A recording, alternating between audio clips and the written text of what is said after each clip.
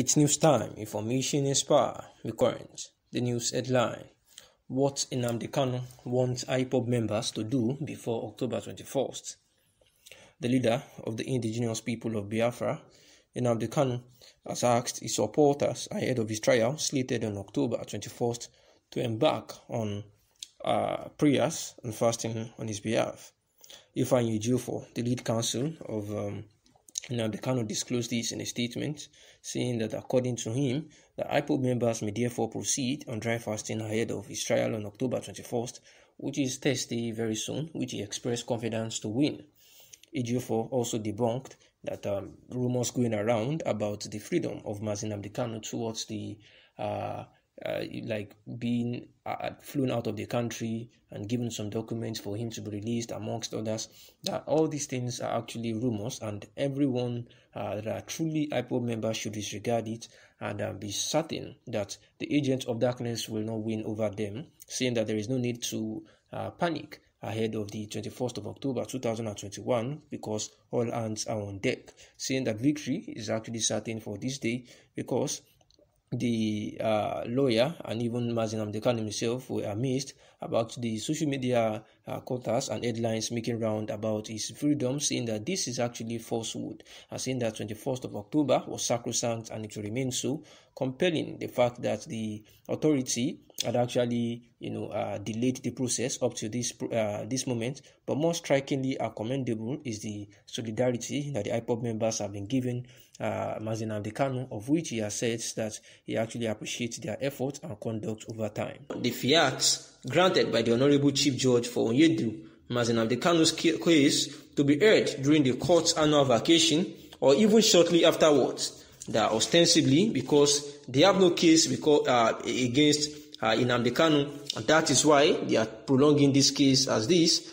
And the lawyer saying that he was quite disappointed. However, they have no hiding place come 21st day of October 2021 as the uh, case was earlier adjourned. And the lawyer, while interviewed, has said that uh, Nnamdi Kanu has no case. I will give one example with the United Kingdom where the House of, of Lords in such a case that where a defendant in a criminal matter had been brought back to the United Kingdom in disregard of available extradition, process and in breach of international law and laws of the state where the defendant had been found, the court in the United Kingdom should take cognizance of those circumstances and refuse to try the defendant. I know that Kanu's case is unique novel and presents matter of first impression. Yet, it is uh, a, it presents a golden opportunity for Nigerian courts to determine whether it is lawful for the Nigerian state to make an extrajudicial attempt on his life in 2017 and having failed to then pursue him to Kenya and then abduct him to Nigeria without due process of law all because he is engaged in self-determination which is a protected political opinion, but one which the government of the day is seeking to suppress by means of punishment or some sort. If what they did to Kanu is legal, why did they resort to the extradition processes of Benin Republic and why is America equally applying to extradite Abba Kyari instead of simply levying extraordinary rendition on him? That is the cross of the matter. And he was asked again that do you see his non-production in court by the DSS in recent legal appearances as a vindication of your statement or prophecy as it were?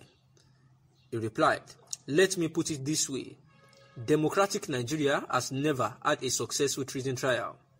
Since 1960, democratic Nigeria has had many treason trials without any, except for that of Obafemi Awolowo, netting a conviction of or even coming close. No other person has ever been convicted of treason or its guardian varieties like treasonable felony or sedition throughout all the democratic dispensations in Nigeria. Even when that of Awolowo resulted in conviction, it immediately brought many issues that still dog Nigeria to this day. Plus, Awo's conviction most probably would have would have would not have happened had he not overconfidently opted for summary trial when he could have tarried a while. What is more, his trial was later found to have been tainted with profound judicial bias, and in quick time, his conviction and sentence were commuted. Most remarkably, his conviction convulsed Nigeria to no end, especially Western Nigeria, and it ultimately contributed to the 1966 coups that directly led to the Civil War and its horrendous aftermath. The lessons from this are not hard to see, and they are first, treason is a regime specific political offense. So, unless the trial is dubiously concluded during the life of the extant regime, it sunsets with the coming of a new regime. Second, treason trial, if pushed too aggressively, can bring more problems than it initially set out to contain. In some climes, it led to overthrow of the very government in power, such as in the case of Jerry Rawlings, who went from being in jail for treason to overthrowing the government that jailed him. So, Nigeria needs to tread with caution, and a keen reference to history as it ramps up on this overly aggressive treason trial of Mazi Nnamdi Kanu. When an alpha patriot like Kanu gets so upset with the system that he begins to seek solutions in separation or self-determination, you talk to him, you don't subject him to trials and tribulations. Simple. And these were the words of the lawyer, and he was asked the very last time, you know, after he had said that, uh, you know, the, the, the question was that at a particular point in time, he said they cannot try uh, Kanu in court, a court in Nigeria, and why was it so? And he was just trying to explain that that was true because uh, uh, because he was actually extradited from Kenya unlawfully, because and uh, they were not supposed to bring him from Kenya without following due process. And for that reason, any other prosecution that they had against him, you know, because he had jumped bail, and not that he jumped bail, they actually went to his house to invade his house and, uh, you know, attempted to kill him. That was extrajudicial.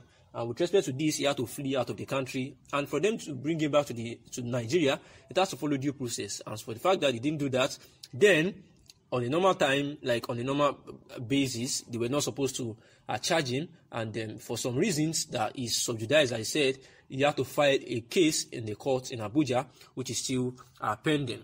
And um, they were like, do this? It, it, it, it, was. He was also asked if he if he sees his legal appearances as something that will vindicate him, just like the earlier statement that he has made.